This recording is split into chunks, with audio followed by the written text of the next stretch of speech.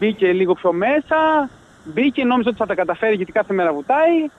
Και εκεί, που, εκεί, εκεί στο σημείο που δεν πατούσε, την πήρε μέσα η θάλασσα και μετά δεν μπορούσε να βγει γιατί είχε έντονο κυματισμό. Η κυρία ήταν 74 ετών, δεν μπορούσε να βγει προς τα έξω. Οπότε ήταν ακίνητη εκεί σε ένα σημείο για μερικά λεπτά, μέχρι που την είδα, την άκουσα και μπήκα μέσα.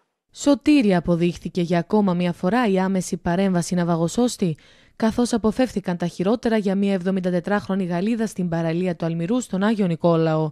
Η ίδια κολυμπούσε αμέριμνη την Παρασκευή το μεσημέρι και χωρίς να το καταλάβει παρασύρθηκε από τα ισχυρά ρεύματα που δημιούργησαν οι έντονοι νοτιάδες. Είναι από τη Γαλλία, μένει εδώ σε ένα σπίτι δίπλα στον Αλμυρό, το έχει αγοράσει και έρχεται τα καλοκαίρια και μένει και κολυμπάει κάθε μέρα. Δηλαδή τη, την ξέρουμε. Τη Αλλά κυρία. ήταν μόνη της στην παραλία; Ναι, ήταν στην παραλία μόνη της. Έρχεται κάθε μέρα, ο άντρας τη την ώρα έλειπε.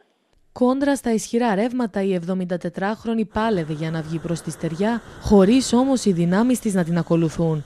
Ευτυχώς ο ναυαγωσός της Νίκος Κότσος, που βρισκόταν εκείνη την ώρα στον πύργο, αντιλήφθηκε εγκαίρως ότι ήταν σε κίνδυνο και έσπευσε για βοήθεια. Εδώ είναι πιο ρηχή η θάλασσα, πιο εύκολη θάλασσα, δεν έχει ρεύματα πολλά.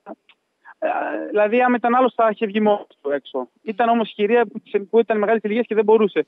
Παρά το γεγονός ότι πρόκειται για μια παραλία η οποία φημίζεται για τα ριχά νερά της και εξαιρετικά σπάνια καταγράφονται τέτοιου είδους περιστατικά, φαίνεται πως ο κίνδυνος πάντα ελοχεύει και σε καμία περίπτωση οι πολίτες δεν θα πρέπει να τον υποτιμούν, ειδικότερα τις ημέρες που επικρατούν έντονοι άνεμοι.